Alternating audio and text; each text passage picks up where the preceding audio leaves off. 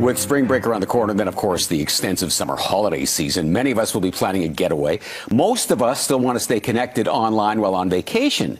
And joining us this morning with some tips on how to stay connected without the cost is online security expert David Papp. Morning, Dave. Morning, Mike. This is, um, it's becoming easier and easier. I mean, there was a time where it was real prohibitive and expensive to, to use your Absolutely. phone while you're away, but, but, but things have changed. So, so give us an example of, of, of some of the messaging options that are available. People are always worried about, is it going to cost me to text? Is it going to cost me to do this, to do that? The big key is people have to realize that, um, like, let's say you're on an iPhone.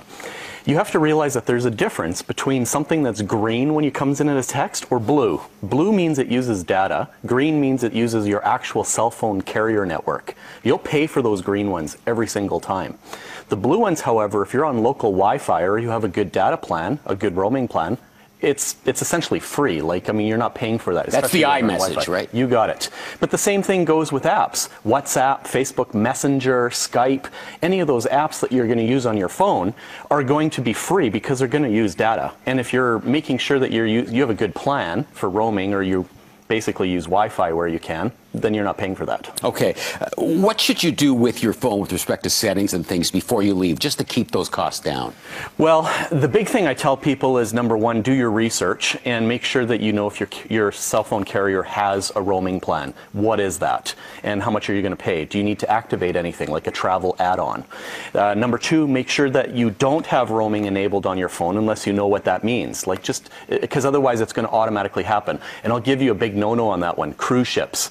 I don't care what cell phone carrier network you're on, cruise ships are always going to be expensive to travel on.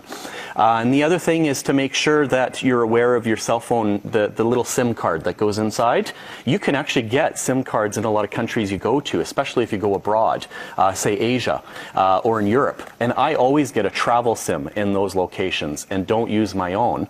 And they're very inexpensive, generally speaking, for tourists. So how will that compare to, let's say, I don't know, I'm with Rogers. I think they all have similar plans, uh, roam while you're away and, and that type of thing. So if you're if you're away in Europe or something and it was ten dollars a day, how would that compare to getting a, a, SIM card and slipping it into your phone? The SIM cards that I've obtained in a lot of countries um, only cost ten or twenty dollars for your entire trip. Now, in terms of uh, what's available uh, with that card, though, is that based on your regular plan or is it a whole different plan? Completely different plan. So your phone number is no longer available. That's a big gotcha. Ah, yes. So put a voice message on there that says you're not available. You know, please send me an email or please contact me through these alternate uh, messaging apps. However, on that note, um, it's very inexpensive. Like you're only going to pay 10 or 20 dollars. Plus, Mike, you're not going to have any surprises. It's impossible for them to charge you extra when you're not using your own SIM card. Can you use a different SIM card without unlocking your phone, though? No. So, and then you have to pay to unlock your phone. Yes, but you know what? That has great resale value. Mike, if you ever want to sell your phone afterwards and get a new one, having an unlocked phone is huge. Okay, so that's an worth it. attraction, right? So, any other tips while traveling? Uh, I think the big thing is to be very aware of your data. Um, there's a, uh, an app out there called My Data Manager that actually tells you how much you're using on a daily basis and alerts you if you're going over. The other thing is there's an interesting Canadian company out there called KnowRoaming, and they have a thing which is a sticker that you put on top of your SIM card and it becomes a dual SIM. So when you travel, I have a US phone number and a UK phone number, and I can also get my phone number to work anywhere in the world. And they have unlimited data options in the US when I travel. Well, you have all the tricks. One other thing, though, some have suggested just get a cheap phone or something while you're Yes, away. What that's about another that? idea. But you know what? You like to have your photos, your apps, you know, your your Facebook. It's all on your phone.